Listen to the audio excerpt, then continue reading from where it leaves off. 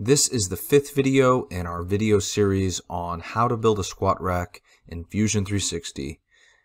This video we are going to learn how to create this center base at the top.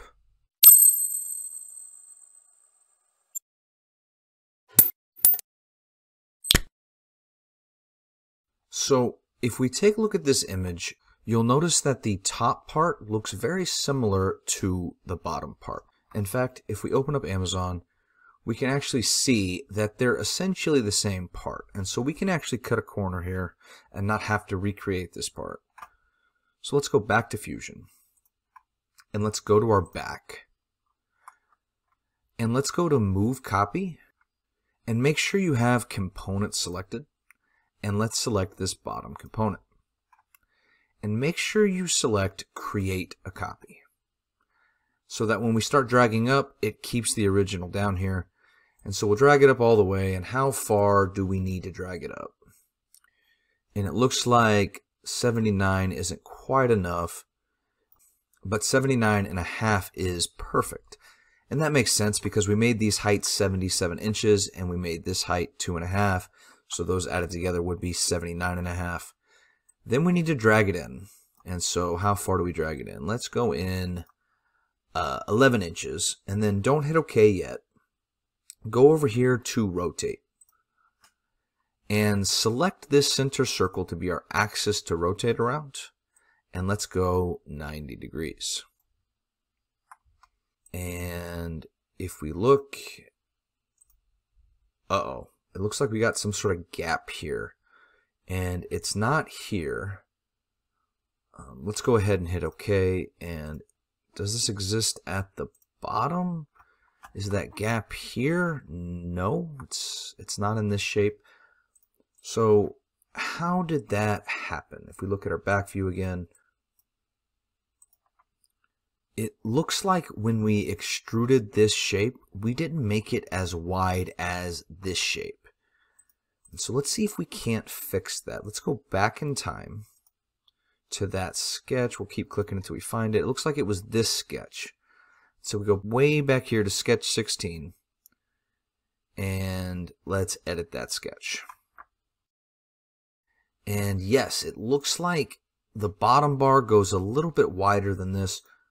So when we made our lines collinear with this edge, we actually messed up. And so let's see if we can't fix that real quick. Let's go to Create, Project, and let's just project this edge on the far right of our bottom face here and the far left over here. Let's get this line as well and hit OK. And so now we have some extra lines projected. Let's grab our line tool and let's extend this line here and extend this line to this projected line over here and make sure it says zero degrees. If you're having trouble, hit tab and go to zero degrees.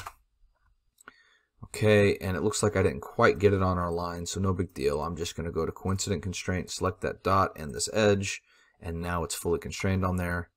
I'll go to my line tool and go down here to the other face and do the same thing. Go to this bottom edge and connect these two, and go to this bottom edge and connect these two. And so what did I just do? Right click OK. I just made some extra shapes to extrude. So if I go to finish sketch and go to my home view, and I find that extrude that used this sketch right here, right click and go to edit feature, I should be able to add on these extra rectangles that I just drew for myself. I connected it at the front and the back using these projection lines. And so if I go around to the other side, I should be able to do the same thing and hit OK. And it looks like we got all kinds of errors. Um, let's see if we can fix that. So it looks like the first error was this fillet and it looks like it completely lost the edges that we were filleting on. And so that should be an easy fix. Let's just reselect the four edges and type in 7 over 64 again. And then what about this sketch? If I go to review my warning, what does it say? The sketch plane is lost. It's asking me to redefine the sketch plane. And so what that's talking about is when we sketched this, we were on a different plane because, well, if we look, you can see it's on the inside instead of the outside. And that actually might be a pretty easy fix. Let's go to Finish Sketch and then right click on that sketch and let's find Redefine Sketch Plane. And so I wanted to sketch it on this plane that didn't exist before, and so we'll just select this and hit OK. And that solved this sketch. All that did was move that circle, what, 7 64ths of an inch forward. Okay, and so then we go to this rectangular pattern, and we go to, well, let's review the warning. The model is missing a reference geometry. So let's go to Edit Feature and it looks like it's missing an axis. And that makes sense because we moved this over so this axis didn't exist earlier and there was a different axis over here. And so I just have to select one of these fillets and hit OK. And it looks like that was also solved. And so what about this sketch? If we review our warning it looks like it was the same thing as before. We lost our sketch plane. We were sketching on a different plane that was 7 64ths of an inch to the left. And so if we right click and go to redefine sketch plane and just select this face and hit OK, it looks like everything is solved. And if we go to our back view now, it looks like this is a perfect square now and these edges align. So perfect. And so the only thing missing now is we don't have holes in our top bars to match the center base bars. That's easy. Let's go ahead and start a new sketch on this plane here and I'm going to toggle my slice feature so everything can get out of my way. And I'm just going to hit P on my keyboard to project geometry. And I want to select this circle and this circle and hit OK. Hit the home view, finish sketch, and then all I want to do is extrude this circle and this circle.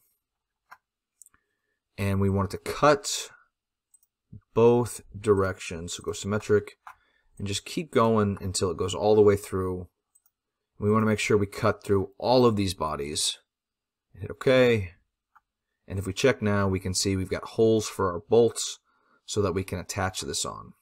And so this video ended up being a little bit longer than I expected. We had to fix some geometry from our last video, but all in all, still a pretty short video.